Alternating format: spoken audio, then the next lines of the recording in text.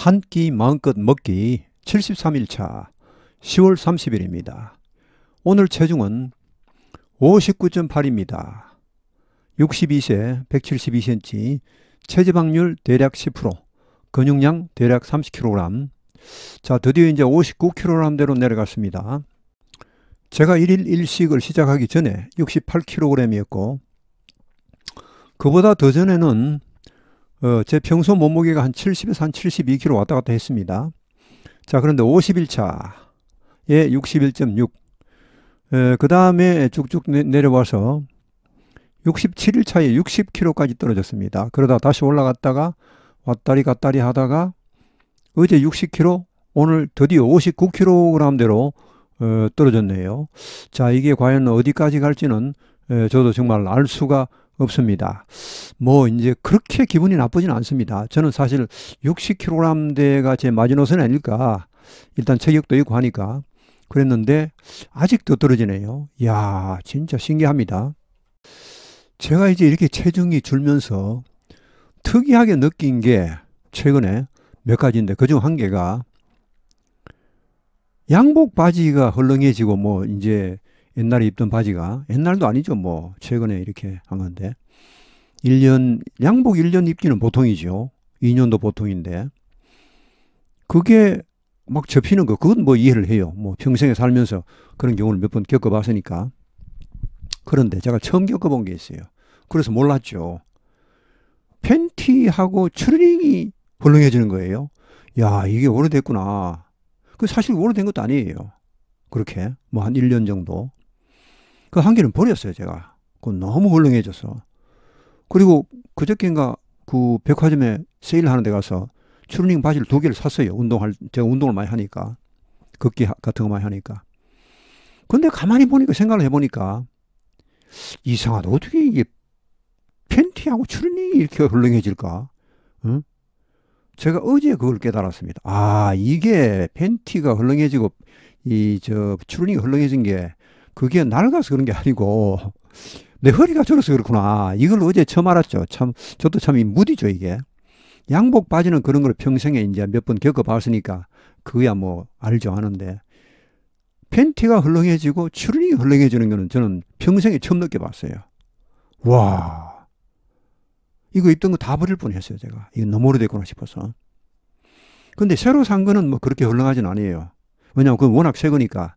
근데 이제 옛날에 제가 70 대, 70kg 때, 72kg 때 입던 그런 거, 그런 걸 지금 이제 좀 훌륭한 거예요. 아무리 팬티고 또 아무리 추링이라도. 이야, 참 신기하죠. 매일 물 2.5리터. 내 생애 최고의 음식은 물입니다. 제가 어떻게 보면 이렇게 꾸준하게 체중이 빠지는 거, 물론 체중이 자꾸 빠지는 것은 좋지는 않습니다. 어, 저체중은 과체중보다 더 위험하다는 거 저도 알고 있습니다. 알고 있는데 뭐 아직까지는 저체중 위험은 아니니까. 근데 물을 많이 드시면요. 이게 오히려 체중이 빠집니다. 물살이 오른다고 하죠. 그거는 이제 잠깐 잠시 잠깐이고 물은 결국은 다 빠져나갑니다. 드신 만큼 빠져나가는데 근데 꾸준하게 이렇게 물을 많이 드셔 주시면요. 뭐가 좋냐 하면은 물론 체내 체수분 양도 증가합니다. 약간씩. 그렇게 몇 년씩 계속 물을 꾸준하게 마셔 주시면은 몸속의 수분 양이 약간씩 증가합니다. 갑자기 마시면 그게 뭐 어, 탈이 날 수도 있고 다 빠져나가 버리지만 이렇게 꾸준하게 드시면요. 어, 체수분이 증가하는 것 외에도 몸의 신진대사가 활발해집니다. 뭐 이제 배출 이런 게 아주 원활하게 되죠. 그래서 결국은 체중이 빠집니다. 물을 원활하게 많이 드셔 주시면요. 너무 많이 드셔도 곤란합니다. 하여튼 제가 이 물 책을 보고 있지 않나. 그리고 하루 종일 제가 식사를 안 하면서도 버틸 수 있는 게 저는 뭐 확실히 이건 알고 있습니다. 물 덕택이죠. 물 안 마시면 저는 뭐 아마 허기가 질 거예요. 물을 마시면 허기도 안 느껴지고 에, 힘이 넘칩니다 이게. 참 물이 음식이 아니라 하지만은 저는 제, 제 생애 최고의 음식이 물입니다. 물만 있으면 저는 뭐 진짜 끄떡없습니다. 사실 식사는 안 하고도 제가 요새는 하루 한 끼는 하죠. 근데 뭐 제가 한 2, 3일에 한 끼를 해도 저는 자신 있어요. 이게 일단 일단 지금 기분은 그렇습니다. 뭐 실제 어떻게 될지 모르겠지만 단 물을 이 충분히 제가 마실 수 있다면 자, 아침 식단, 어, 이게 이제 뭐 하루 한 끼 먹으니까 참 어제 말씀드렸죠. 1인 1식의 치명적인 단점, 다양한 음식 섭취가 어렵다. 참 힘듭니다, 이게. 하루 세 끼, 두 끼 드시는 분은 뭐 대충 먹어도 여러 가지 음식을 드실 수 있죠. 웬만하면은. 근데 한 끼 드시는 분은 진짜 신경 안 쓰면 많이 못 먹습니다. 자, 제가 어제 그저께부터인가 순서를 바꿔서 종합 견과류를 먼저 먹습니다. 일단 이걸 먼저 먹습니다. 이거 먹고 그다음에 이제 두부를 제가 이제 에, 준비를 합니다. 두부 약간 끓 한번 끓입니다. 제가 아, 그냥 먹어도 되지만 어, 수프에서 사온 두부를 한번 끓입니다. 끓여서 이제 일단 요걸 먹으면은 이걸 먹으면 이제 왜 좋냐 하면은요. 에, 서서히 이제 인슐린이 나오기 시작합니다. 그러니까 인슐린 준비 이런 겁니다. 이걸 넣어주면은 인슐린 나올 준비하세요 이런 거죠. 갑자기 뭐 이뭐 뭐 국수나 뭐 밥이나 이런 걸 떡 뭐 빵 이런 걸 드시면은 혈당이 확 올라가서 인슐린이 정, 말 어, 죽을 힘을 다해서 갑자기 확 튀어나오듯이 그래서 충격을 받지만은 이런 거를 드셔 주시면요. 여기 그 탄수화물 거의 없기 때문에 인슐린이 그래도 나오긴 나옵니다. 서서히 나오는 거죠. 이게 좋습니다. 뭐든지 서서히 하면은 우리가 뭐 운동할 때도 준비 운동을 하죠. 그게 돼 있으면 크게 무리가 없습니다. 어, 두부도 마찬가지입니다. 이것도 준비 운동인데 일단 저는 어, 종합 견과류를 제가 요새 보니까 한 7시 반쯤 먹어요. 제가 식사가 다 끝나면 한 9시 약간 넘습니다. 그러니까 뭐 1시간 반 이상 하는 건데 근데 종합 견과류 이건 뭐 어, 식사로 보시지 말고 그냥 이 어떤 그 인슐린에 대한 신호를 주는 겁니다. 제가 인슐린 나올 준비하세요 이런 거죠. 어, 실제로 많이 나오지도 않습니다. 약간 나옵니다. 그런데 하여튼 식사를 제가 이제 오래 하는 거죠. 이, 만약 이것을 식사 시간 개시 요 땅으로 시작한다면은 그 다음에 두부 먹습니다. 어, 이 제가 다 일일이 다 준비를 뭐 거의 제가 합니다. 이렇게. 에, 달걀도 제가 이제 그 우리 달걀 그 이 기기가 있습니다. 20분 하면 땡땡 해서 이제 맞추는 게 있는데 그걸 하고 채소 이 채소는 이제 에, 종합 경과제 먹고 난 다음부터 두부 먹을 때부터는 제가 채소를 먹습니다. 달걀 두 개, 육류, 뭐 주로 이제 닭고기를 위주로 이렇게 먹습니다. 붉은색 고기는 제가 늘 말씀드렸듯이 세계 보건기구가 2급 발암물질로 어 이제 올린 예, 그런 거라서 너무 많이 빨간 고기 그러니까 뭐 소, 고기 돼지고기, 뭐 양고기 이런 네 발 달린 짐승이 있죠. 이런 고기를 너무 많이 드시면은 어, 그 암에 걸릴 확률이 일단 좀 높아진답니다. 그래서 저는 가급적 그래도 이 새, 닭은 새입니다. 이게 집에서 기르지만 새, 뭐, 이, 오리 이런 거 이런 고기는 흰색 고기죠. 이런 고기는 에, 관계 없습니다. 자, 해산물, 뭐 미역국 오늘은 못 먹었네요. 미역국 있는데도 못 먹었습니다. 도저히 오늘은 제가 그 사이에 그렇게 결심을 하고 또 결심을 하던 밥을 드디어 잡곡밥을 드디어 먹었습니다. 카레. 카레 먹으려고 제가 어제 카레 못 먹었거든요. 우리 집 사람이 카레를 해놓았는데 제가 그걸 못 먹어서 땅을 치고 진짜 어, 통, 통곡은 안 했지만 하여튼 땅을 쳤는데 그래서 제가 이런 말을 썼습니다. 아, 씨, 챙겨놓은 이렇게 못 먹는구나. 너무 배가 불러서 배가 터질 것 같으니까. 오늘은 그래서 고구마를 먹기 전에 잡곡밥을 먼저 먹었습니다. 카레를 싹 이렇게 비벼서 어, 숟가락으로 먹었습니다. 제가 숟가락 사용 안 한다고 했는데 이때는 불가피하게 숟가락으로 맛있게 먹었습니다. 아 얼마나 맛있는지 카레가 제 집 사람이 그냥 카레를 엄청나게 잘해요. 온갖 걸 다 넣어서 진짜 잘합니다. 이 채소도 뭐 그 도마도 볶음 이런 거는 뭐 온갖 채소 양파 뭐 파프리카 뭐 등등 한 뭐 대여섯 가지 채소를 넣어서 하는 그런 거를 잘해요 이것도 이것도 아주 웰빙 이것도 웰빙인데 카레도 웰빙이죠. 이거 오늘 드디어 소원서리 했습니다. 예, 그렇게 하고 고구마도 오늘 먹었습니다. 큰 고구마 한 개. 너무너무 맛있게. 이 고구마가 실제로 감자보다는 그 혈당 지수가 낮습니다. 천천히 올린다고 하는데 실제로 고구마 혈당 높이는 게 엄청납니다. 국수하고 비슷. 국수가 진짜 그 엄청나게 혈당 올. 국수, 라면 이런 거는 혈당이 그야말로 혈당 스파이크입니다. 하늘 높은 줄 모르고 올라가 버리죠 이게. 그 굉장히 위험한 음식인데 근데 고구마는 그 정도는 아닌데도 왜 이게 혈당이 많이 올라가느냐 하면은 맛이 달콤하니까 사람들이 많이 먹어버려요.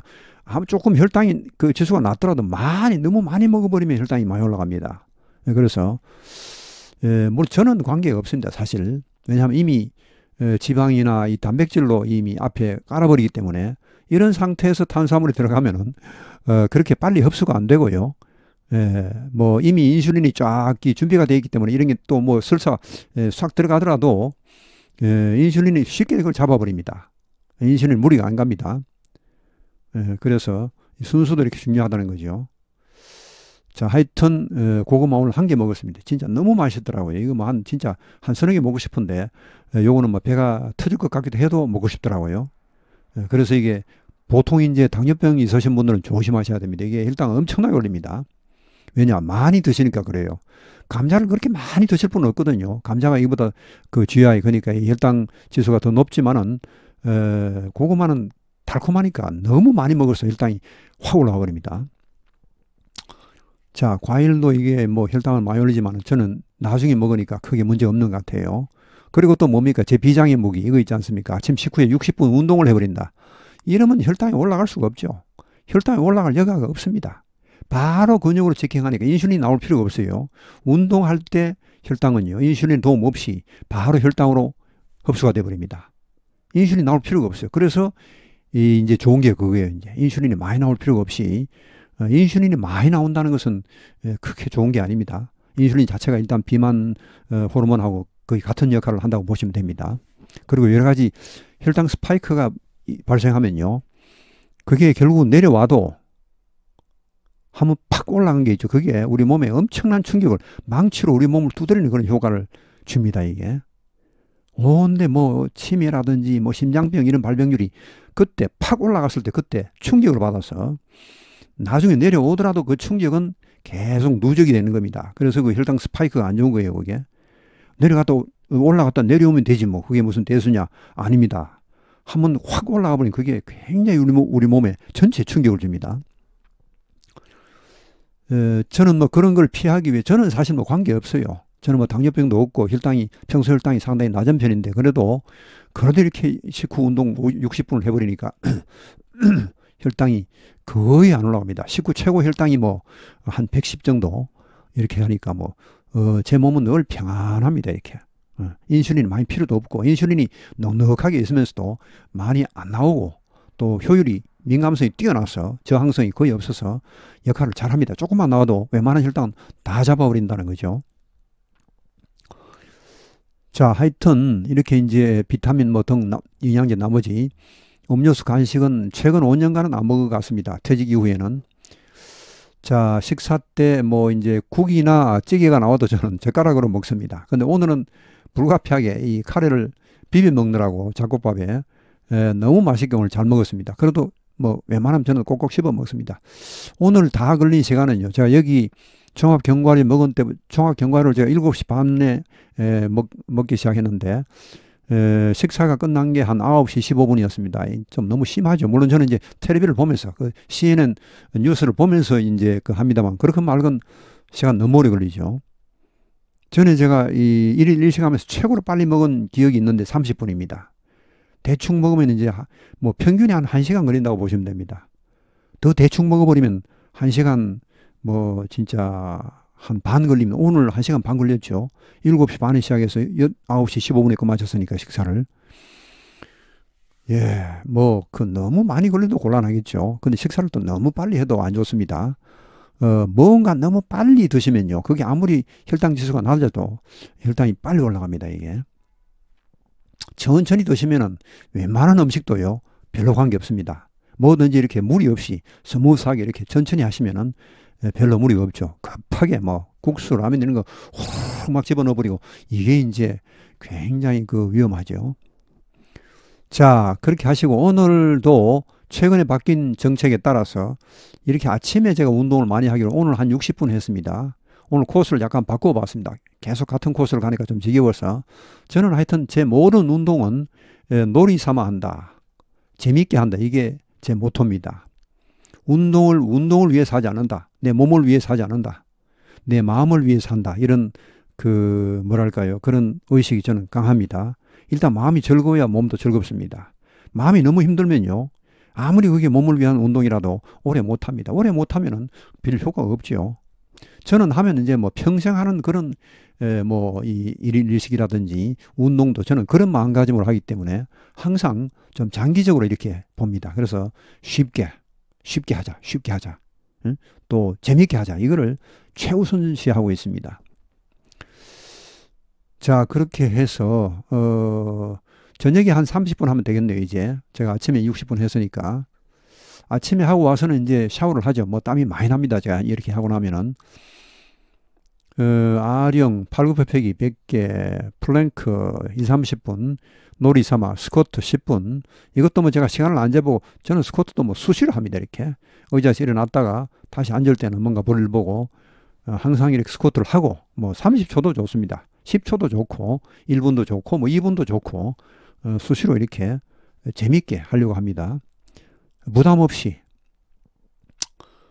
어, 종일 흙이 없고 배변 시원하게 어, 쭉쭉쭉 쭉쭉 아, 어제는 제가 10시 한 30분쯤 잠들었습니다. 너무너무 잘 잤습니다. 목표는 7시간인데 어제는 한 6시간 반 잤죠. 예, 상당히 예, 정말 잘 잤고 밤에 잘 때는 물론 소변도 안 보기 때문에 진짜 숙면을 취하고 저는 잠자는 게 그야말로 꿀잠입니다. 꿀잠. 천국입니다. 저한테는. 자, 오늘 해설은 아니 오늘 방송은 여기에서 마치겠습니다. 시청해 주셔서 감사합니다.